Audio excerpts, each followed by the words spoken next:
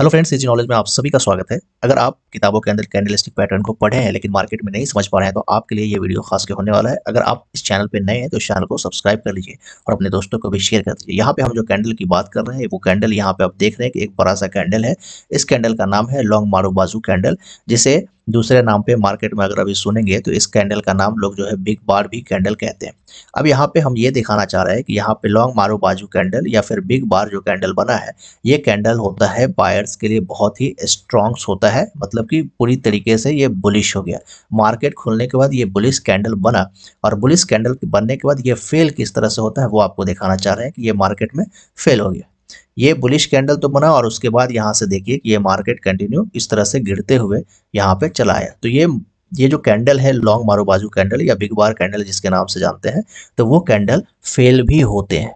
अब फेल होने के लिए आपको यहाँ पे ये समझ में आया, अगर ये कैंडल इसके ऊपर अगर दूसरा कैंडल बनता तो यहाँ पे क्या था कि ये कैंडल ऊपर की तरफ़ जाता। लेकिन यहाँ पे हुआ कि ये कैंडल बना नहीं, यहाँ से फिर इसके अंदर आया, फिर इस तरह से करते हुए, फिर नीचे करते हुए इसके लो पॉइंट तक यहाँ पर आपको लाकर टच कर दिया।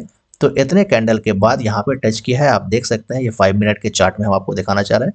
तो यहाँ पे देखिए कि इस एक कैंडल को गिराने के लिए, और ये एक इतना स्ट्रॉन्ग कैंडल था, जो बुलिश स्ट्रॉन्ग कैंडल था लॉन्ग मारू बाजू कैंडल उसको गिराने के लिए सेलर को कितना ताकत लगाना पड़ा, लगभग अच्छा खासा वक्त उसने लगाया, तब ये कैंडल को पूरी तरीके से इसके लो पॉइंट तक ला पाया। तो ये मारू बाजू कैंडल का ताकत होता है, लेकिन यहाँ पर क्या हो गया यहाँ पे ये फेल कर गया। तो मार्केट में आपको कैंडल फेल भी होते हैं, जब फेल होते हैं तो आपको तुरंत वहाँ से निकलना चाहिए। अगर वहाँ से आप नहीं निकल पाते हैं तो क्या है कि वही आपको लॉस का सामना देखने को पड़ता है। तो कैंडल स्टिक पैटर्न को पहले समझिए, उसके साइकोलॉजी को समझिए, उसके बाद ट्रेड करने की कोशिश करिए। पहले ही मार्केट में आकर ट्रेड नहीं करिए। वीडियो अगर आपको अच्छा लगा हो तो ज़रूर लाइक करके और अपने दोस्तों को शेयर करके ज़रूर जाइए थैंक्स फॉर वॉचिंग